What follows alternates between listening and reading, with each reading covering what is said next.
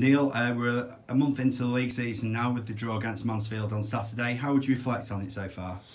I think, uh, if I'm being totally honest, we're a little bit unlucky we've not got more points.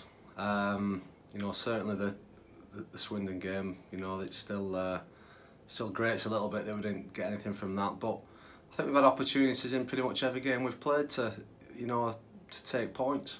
Um, that said, we're still you know, we've still got a lot of work to do. We're still trying to improve. We're still trying to earn our luck, you know, with uh, with our work rate and our organisation and the like. So, um, yeah, we we we're keen to we're keen to just implement a few more things to to really get uh, the season up and running.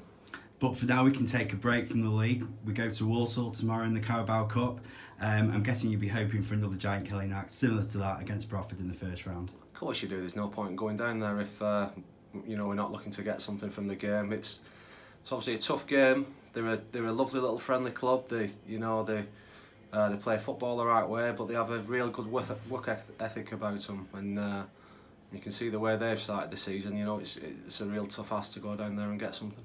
Exactly, but we wouldn't go down there to make up the numbers, will we? No, well, you know, like you say, there's a little bit of pressure off. It's uh, we can take a breather from the league and uh, go down there, and enjoy ourselves, make sure we give a, uh, a good account of ourselves and see what happens. Macc have always enjoyed cup games. The fans are no different. You'll be hoping that quite a lot of them will be able to make the journey down, and really get behind the lads. Yeah, it's it's a relatively uh, short journey really down the M6, so um, it's great on the away games. You know, down at Swindon and Oldham with, you know, to to see the fans turning out in the numbers is brilliant and the noise they make. So, you know, hopefully they can be the ones making the noise at the end of the game Tuesday.